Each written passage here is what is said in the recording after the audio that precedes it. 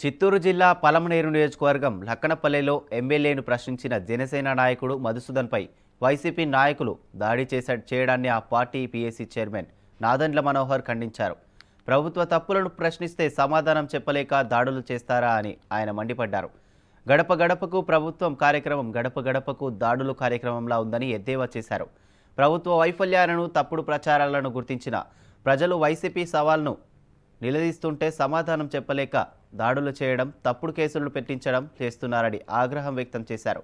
లక్కినపల్లెలోని ఎమ్మెల్యేను ప్రశ్నించిన జనసేన నాయకుడు మధుసూదన్పై దాడి చేయడం అప్రజాస్వామికమన్నారు ప్రభుత్వం చేస్తున్న సంక్షేమ కార్యక్రమాల్లోని తప్పులను గుర్తించి అడగడమే ఆ బాధితుడు చేసిన తప్ప అని నిలదీశారు. వైసీపీ చేస్తున్న తప్పులు బయటపడుతున్నాయి కాబట్టే అసహనంతో దాడులు చేస్తున్నారని ధ్వజమెత్తారు. పోలీసులు తక్షణమే స్పందించి మధుపై దాడి చేసిన వారిపై కఠిన చర్యలు తీసుకోవాలని డిమాండ్ చేశారు. వైసీపీ వాళ్ళకు గడప గడపలో వ్యతిరేకత వ్యక్తమవుతోందన్నారు. మంత్రులు ఎమ్మెల్యేలు పర్యటించేటప్పుడు గృహ నిర్బంధాలు చేస్తున్నారంటే పరిస్థితి ఏ విధంగా ఉందో అర్థం చేసుకోవచ్చని నాదెండ్ల మనోహర్ ఎద్దేవా చేశారు.